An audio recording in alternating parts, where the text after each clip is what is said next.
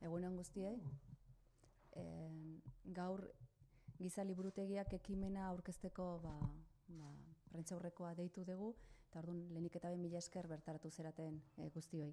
E, nirekin Elbira Garzia dago, bakeolak, bakeolatik dator bera, eta berak gero e, azalpen gehiago emango dizkizue, ba, ekimen honen, honen baitan.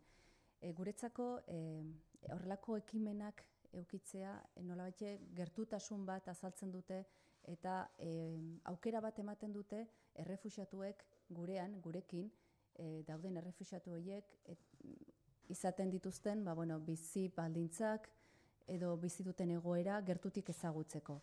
Eta baita ere beraiek eta baita ere beraien egoera edo beraiekin lan egiten duten pertsonek, ba bueno, ba ze bizipen edo e, dituzten oze, zer nolako iritzi edo jasatzen dituzten e, ba, e, ibilbide personalari buruz.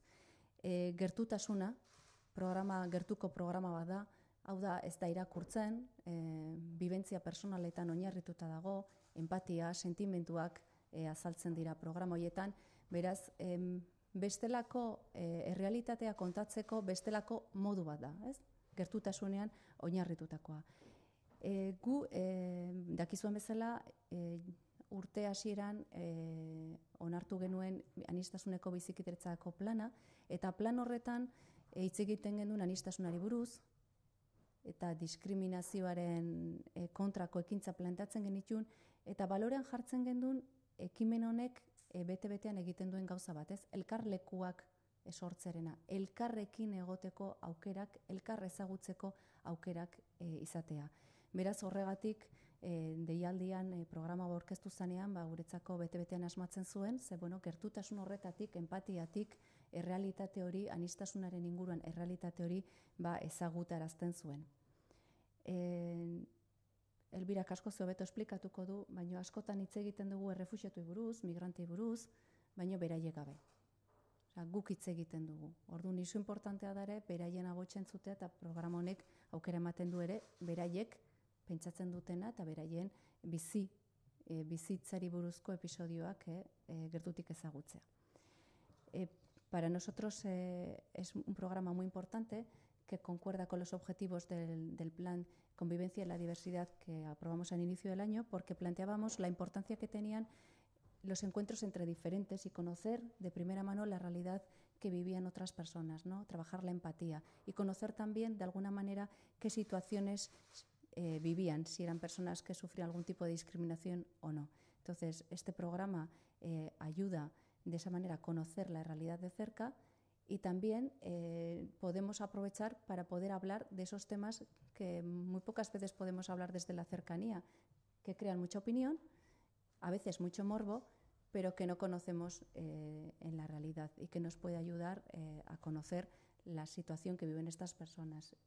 Y yo eh, quiero agradecer a Baqueola por este proyecto y sin más eh, le voy a ceder la palabra a Elvira para que nos cuente un poco la metodología que van a seguir o que vamos a seguir el día 20, el día además es el Día de los Refugiados, entonces que vamos a seguir para poder eh, llevar a cabo esta, esta, esta, este programa que se va a realizar en el Coldo Michelena. ¿vale? Vale, egunon, mi esker etortzeagatik, mi esker Maribel hitza emateagatik eta proiektu berezi honengatik apostua egiteagatik. Uste dut oso ausarta dela eta oso gertukoa gainera. Eh, voy a centrar un poco mi intervención en dos planos. ¿vale? Por un lado voy a ofrecer algunos datos sobre el marco que nos ha impulsado a, bueno, a desarrollar esta actividad tan especial que se llama Biblioteca Humana o Bibliotecas Humanas y por otro lado voy a hablar de la metodología, porque como ha dicho Maribel, pues es una metodología un poco peculiar y que, bueno, bastante innovadora, que empieza, empieza a tener sus primeras experiencias por aquí, por, por Euskadi en Guipúzcoa, pero que no es muy conocida. Eh, por un lado, centrándome en el marco, en la realidad de las personas refugiadas, eh, me gustaría recordar que la ONU en 2015 aprobó eh, la Agenda de 2030 de, de, desarrollo para 2030 de desarrollo sostenible y que eh, se centra en 17 objetivos, ¿vale? Los más importantes, en el caso de, dar cobertura a estas personas refugiadas, están en que la pobreza tiene que desaparecer, que tenemos que proteger los recursos medioambientales que tenemos y que tenemos que garantizar el bienestar de todas las personas. Cuando hablamos de bienestar, hablamos de acceso a la educación, de una convivencia y una cultura de paz en todos los territorios, de la igualdad, ¿sí? de la igualdad entre hombres y mujeres, de la igualdad de oportunidades, de la igualdad de identidad y orientación, sexual también. Eh, también me gustaría remarcar que tenemos un marco de los derechos humanos, que también lo ha planteado Maribel, en el que hay dos ideas que nos impulsan a este proyecto. Una es la fraternidad y otra es la universalidad de los derechos humanos. ¿sí? Es para todas, para todos y todas las, para todas las personas. Eh, entonces, nosotras quizás aquí tenemos estas condiciones más aseguradas que las personas refugiadas y creemos que desde nuestros privilegios podemos hacer cosas. Podemos hacer en a diferentes niveles, ¿no? Kompromiso maila ezberdinetatik egin dezakegu errefuxiatuen errealitate hori ba, aldi batetik salatzeko, ekiditeko, edo horren kontra egiteko. Eta giza liburutegien ekimena hori e, bilatzen du ez, bi helburuekin prestatu dugu ekimen hau. Alde batetik, errealitatearen, errefusiatuen errealitatearen e, errealitatea puntu ezberdinetatik ikusaraztea, ze ez da bakarra, bai? guzti hori etortzen zaigu Siriako egoerak, bueno, errefusiatuen, e, errefusiatuei nola bultzatzen die Grezia eta Europako mugetara, baina mm, egoera oso larriak bizi dira gaur egun munduan, bai? Irurogeita zazpi milioi pertsona daude oraintxe bertan munduan, errefusiatuak direnak, hoietatik larogeita bost, oza, barkatu eguneko larogeita bosta emakumeak eta umeak direnak, bai? arrazoi ezberdinengatik daude errefuxiatuak, bai? Indarkeria matxista bultzatuta, haien identitate edo orientazio sexualaren kontrako e, violentzia jaso dutenak, gerra arrazoiengatik, ekonomia arrazoiengatik, bai?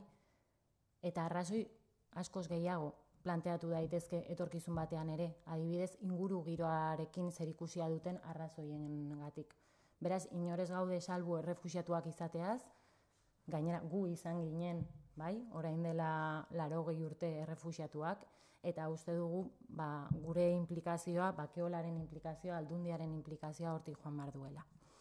Em, bestetik, sartuko naiz pizka bat ja beste atalean, metodologiaren azalpenean, giza liburutegiak e, zer, zer e, albidetzen du.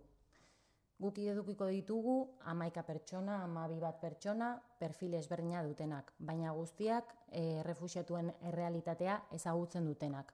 Batzuk bizi izan dutelako, bai, beraien baitan errealitate hori bizi izan dutelako, ezta eta beste batzuk ba, errealitate hori horren kontra salaketa edo ekimen ezberdinak bultzatu dituztelako. Bai hemendik, Euskaditik, Gipuzkoatik, eta bai bez, e, bueno, errefusiatuak dauden gune hoietatik. E, en este sentido, sí que me gustaría remarcar el apoyo que nos ha brindado también Coldo Michelena, ya que nos ha cedido eh, un espacio para poder hacer esta actividad, para darle un simbolismo especial a esta actividad, porque bueno, al final es un centro cultural, una biblioteca de referencia para Guipúzcoa, y el hecho de poder hacerlo ahí nos parece muy, muy apropiado y muy pertinente.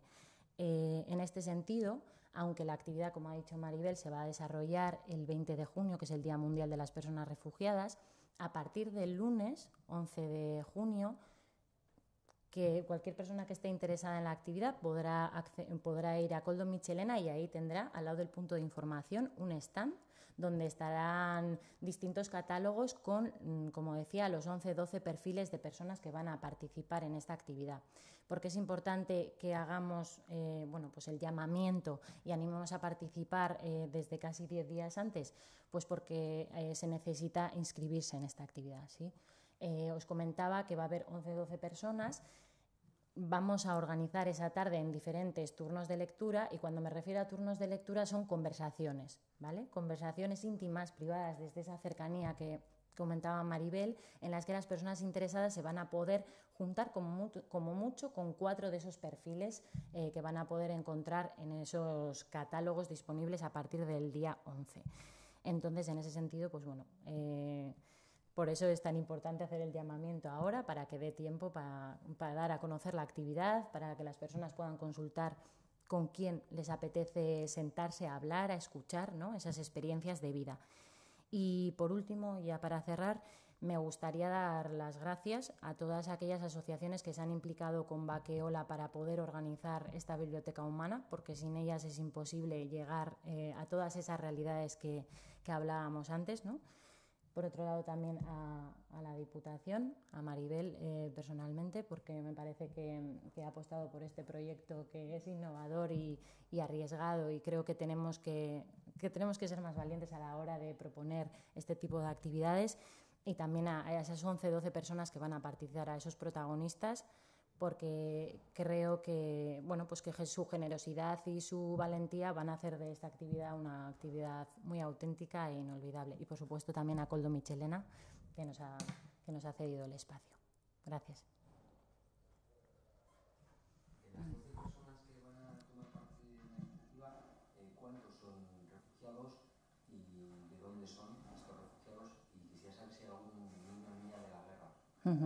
Pues eh, nosotros lo que hemos, lo que hemos intentado desde Baqueola es que la mitad, es decir, de esos 12, la mitad sean personas eh, refugiadas que hayan vivido esta realidad en primera persona, ¿no?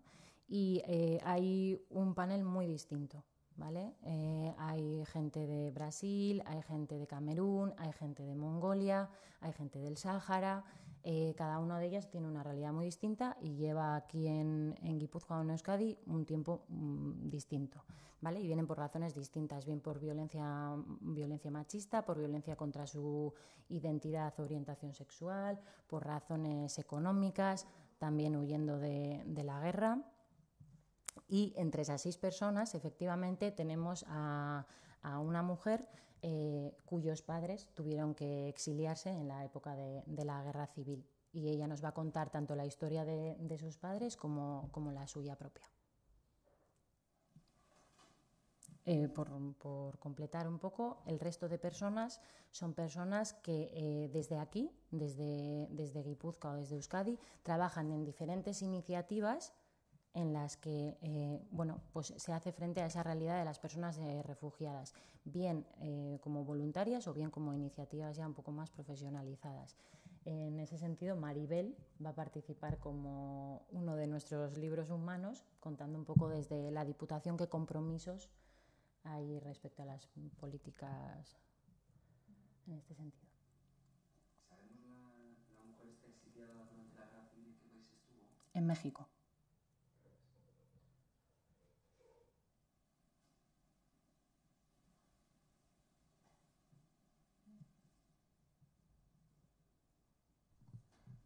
Beste galderarik badezue.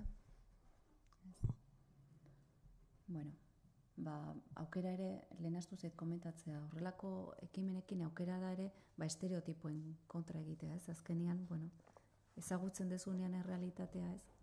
Ba, zure prejuizio edo hoiek batzutan erori egiten dira, orduan interesgarri izango da, eta gure aldetik besterik ez, ba, jendea animatzea jotea, parte hartzea, aukera politxe izango du, eta koldo mitxelenan ilonen hogeian. Mila esker guzti. Mila esker.